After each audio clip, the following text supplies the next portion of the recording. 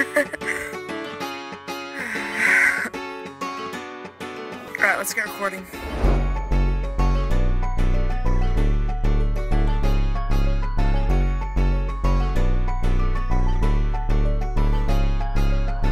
Feeling the breeze of relief and or freedom is always so good.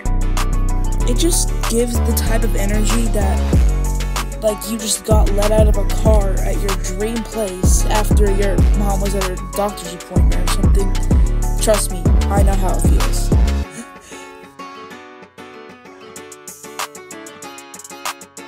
Always being connected and tied to freedom is always a dream come true. Because being stuck somewhere you don't love is terrible. Freedom is truly the best thing you can possibly have the gift of experiencing.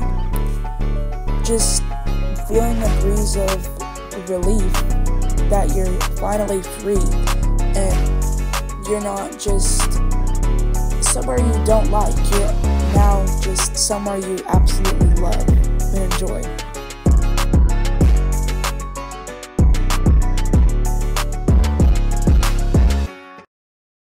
Alright, that one save?